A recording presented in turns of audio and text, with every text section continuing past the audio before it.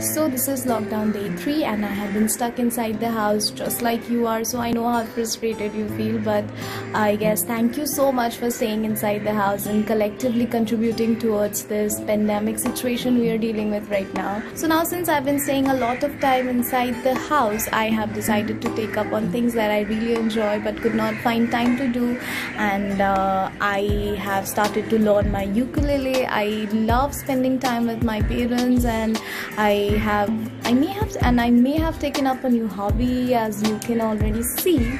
So this was my story and it's time you share your selfie story with us. Tell us about your lockdown experience and your thoughts about adapting to the sudden changes in life, your feelings.